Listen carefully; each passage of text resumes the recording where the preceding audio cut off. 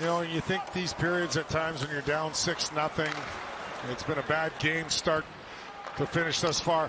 You're being evaluated, Kenj. How you play in the third? Hughes with a shot, he scored.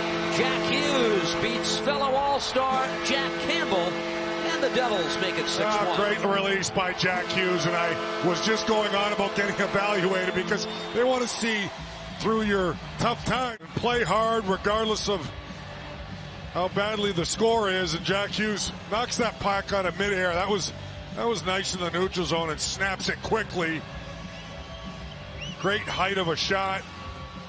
Right through the defenseman Rielly's legs. Uses him as a screen and